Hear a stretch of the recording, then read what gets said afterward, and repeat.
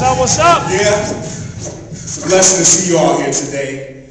Uh, I have to start off with uh, one correction for my brother Enlight and for everyone here.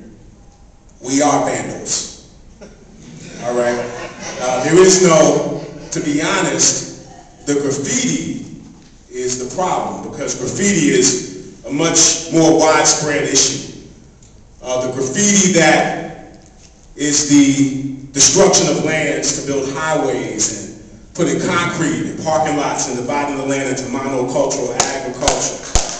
The graffiti that the worst marks on the street and on the walls, which are the bloodstains of our young brothers and sisters that have consistently, consistently been being killed these last 40 years by our own community and were killed before that by racist lynch mobs.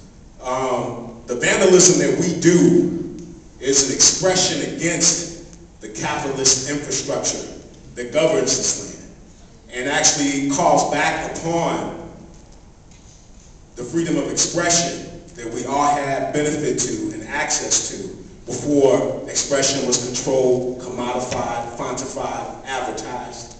So I really, uh, I would be, uh, you know, remiss and not loving the vandal and all of us. So I just wanted to make that clear. Um,